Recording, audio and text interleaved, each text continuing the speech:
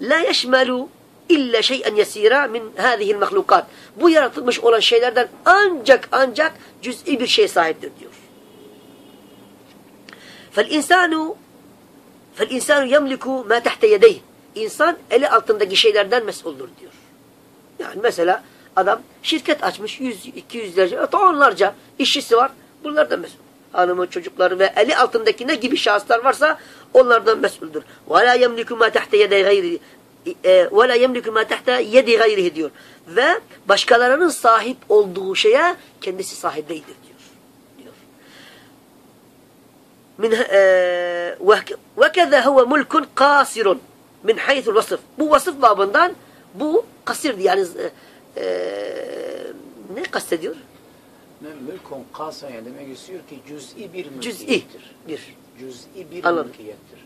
Cüz'i bir mülkiyettir. Fel insanu la yemliku ma indehu tamamul mulk. İnsan sahip olduğu şeye mutlak manada sahip değildir diyor. ولهذا لا يتصرف فيه إلا على حسب ما أذن له فيه şer'an. Uzine lehu. Udine lehu fihi şer'an. Bütün sahip olduğu şeyler ancak Yüce Allah'ın göstermiş olduğu emir ve yasakları doğrultusunda sahip olabilir. Tasarruf etme hakkı olabilir. وَلِهَذَا la yetasarraf fihi bunu geçtik. فَمَثَلًا diyor لَوْ أَرَادَ en yahrik en yahruka malehu. Farz edelim o mal, e, parasını getirdi yakmak isterse veyahut da tarlasını veyahut da efendimiz evini veyahut da herhangi bir malını yakmak isterse ev yuazzib hayvanehu veyahut da hayvanlarını işkence ederse görüyoruz internette diri diri köpekleri eşekleri böyle yoluyorlar bu kesinlikle caiz değildir. İşte burada İbn-i Ütheymin rahmetullah diyor ki kulna la yecuz bu kesinlikle caiz değildir. Çünkü niçin? Bunlar her ne kadar bunlar cüz'i bir iradeye bir irade ise sen bunlara sahip isen bunlar senin değildir. Bu tarlanı yakamazsın, evini yakamazsın, mahsullarını yakamazsın. Çünkü bu mahsul senden çıktıktan sonra Ahmet, Mehmet, Mustafa ve bu şekilde dağıtılacak onların hakkıdır. Sen bunları yakamazsın. İşte kulle lehu la yecuz. Kesinlikle caiz değildir. Bunlar senin değildir. Bunlar mutlak manada Allah'a aittir. Sen cüz'i bir şekilde mukayyet olarak bunlara sahipsin.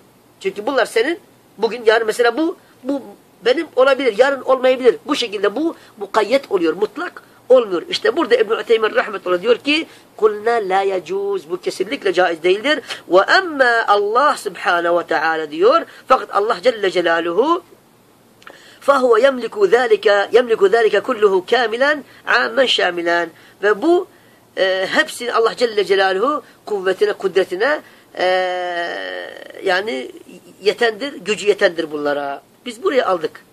Yani bütün bunlara şimdiki hani e, bir de insan kişi kişinin kendisinden örnek versen daha iyi olur. Örneğin Örneğin mesela bir baba çoluk çocuğuna sahiptir. Bir baba çoluk çocuğuna sahip olmuşken kalkıp da çocuğunu istediği zaman öldürebilir mi? öldüremez. Veyahut da eli kendisinin eli olmasına rağmen istediği zaman ben bu eli keseceğim, satacağım veyahut da böbreğimi çıkarıp satacağım veyahut da şu gözümü çıkaracağım veyahut da efendim şu kulağımı keseceğim. İnsanın kendi nefsinden herhangi bir şeyi kesebilir mi? Kesemez. Hayır, kesemez. Ancak ne zaman kesebilir? Ne zaman ki o uzu bir hastalıkla karşı karşıya gelirse o mutahassıs olan tabipler, doktorlar eğer bu uzu kaldırılmazsa, alınmazsa o zaman bütün o hastalığı bütün vücuda sirayet eden sirayet eder ancak o zaman alınabilir. Ama adam gözü sapsağlam. Allah Celle Celaluhu bu insanı iki gözlü yarattı. İki böbrekli yarattı. Çünkü bunlar biliyorsun şu anda halk arasında konuşuluyor. Diyor ki fakirdir mesela. Ben diyor bir böbreğimi çıkarıp satacağım ve bu böbreğin parasıyla diyor 10 sene, 20 sene, 100 sene geçinirim. Adam geliyor mesela diyor ki ala sana 10 milyar dolar şu sağ böbreğini bana ver. Veyahut da hastane diyor ki kim sağ böbreğini şu şu şu şu vasıflara sahip ise diyor 10 bin dolar karşılığında satın alacak birisi var. Şimdi mesela fakir bir adam var diyor ki ya ben 10 bin 10, e, 10 milyon doları sattığım zaman ben diyor işte Hayatım değişir. hayatım değişir. Bunu yapabilir mi? Hayır yapamaz. Neden? Çünkü Allah Celle Celaluhu bu insanı iki böbrekli yarattı. Ve ancak bu insan yüzde yüz mustakim olabilmesi için iki böbrekli olunca olur. Evet. Ama bir böbreği alındığı zaman ne olur? Bu yarım yamalak bir insan olur. Ve devamlı hastalıklarla karşı karşıya geleceği için bu böbreğiyle diriyken kalkıp da başkasına ne yapamaz? Bağış yapamaz. Ama öldükten sonra bu mesele deyin çok çok önemli. Aynı zamanda konuyla ilgilidir. Ama bir insan diyor ki ben ölürsem böbreklerimi, gözlerimi, kalbimi bağışlayabilirsiniz. Bu bağış konusunda, bu bağışı yapma konusunda hakkı var mıdır yok mudur? Alimler arasında ihtilaf var. Bazı alimler demişler ki kişi öldükten sonra azalarının bağışlanması konusunda kişi serbesttir. Bazı alimler demişler ki hayır. Çünkü o böbrekler, o azalar onun değil ki esas mutlak mülkiyet sahibi olan Allah'tır. Allah'a mahsustur. Dolayısıyla burada burada e, alimler ihtilafa düşmüşler. Ve caiz değildir diyen alimler Tirmizi'de geçen hadiste var. Diyor ki Kesru azmil meyyiti ke kesrihi ve huve hayyun Ölü bir kişinin kemiğini kırmak tıpatıp diri iken kırdığı gibidir. Nasıl bir insan diri iken bir insanın herhangi bir azasını kırarsa, keserse o zaman ne yapar? Kısas yapılır veyahut da diyetini verir. Evet. Tamam mı? Yani bunu diriyken nasıl o kişiye haksızlık yapması caiz değilse öldükten sonra da o azaya haksızlık yapması caiz değildir. Hani bugün internette bakın Şiiler Irak'ta, Suriye'de kişiler öldükten sonra açıyorlar, kalplerini yiyorlar, göğüslerini açıyorlar, arıyor kalbini yiyor, gözünü çıkarıyor, yiyor. Ee, geçen gördüm internette insan acayip bu Irak'ta şimdiki yapıyorlar. Peki bu insan bunu yapabilir mi? Kesinlikle yapamaz. Çünkü esas itibariyle mutlak manada mülk sahibi kimdir? Allah. Celle Celaluhu'dur. Ha, o zaman kişi eli altında şer'i yönden Allah Celle Celaluhu ona cevaz verdiyse tasarruf hakkı vardır. Ona cevaz vermediği şeylerde tasarruf hakkı yoktur. Tamam mı? Ha, o zaman kişi kendi nefsi üzerinde istediği zaman elini kesemez. Azalarından herhangi bir şey, bir e, uzuyu ne yapamaz? Bağış yapamaz. Neden? Çünkü o onun mülkiyeti değildir. Allah'ın mülkiyetidir.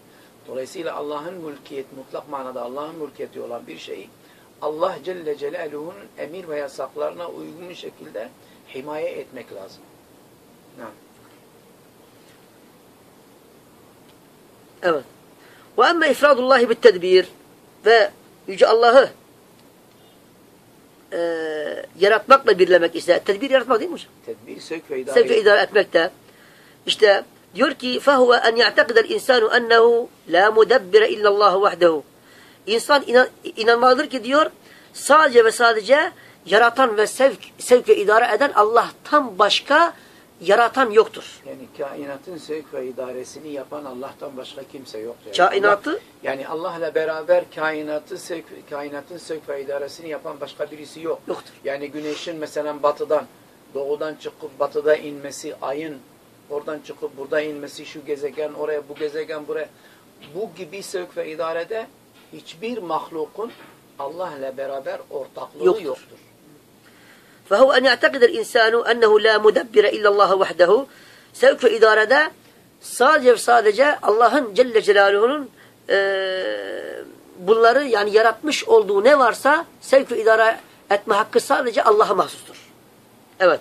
Keme kâle Teala işte kul men yerzukukum mines semai vel ard de ki ey Resulüm göklerden ve yerden size rızık veren kimdir? Ve yağmurda rahmeti geri Allah Celle Celaluhu yağdırıyor. Bitkilerimiz, sebzelerimiz, mahsullerimiz çıkıyor ve bu şekilde yani bizlere rızıklandırıyor rahmeti gereği. Emmen yemlikus sem'a vel absara diyor ki işitme organlarını ve görme uygularını yaratan kimdir? Ve yaratmakla bırakmayıp onları emredip onları sahip olan kimdir? et parçasından ibarettir ama duyuyoruz, görüyoruz, işitiyoruz. İşte bunları yaratan kimdir? Kimdir Allah'tan başka diyor. وَمَنْ يُخْرِجُ الْحَيَّ مِنَ الْمَيِّتِ وَيُخْرِجُ الْمَيِّتَ مِنَ الْحَيِّ demek istiyor.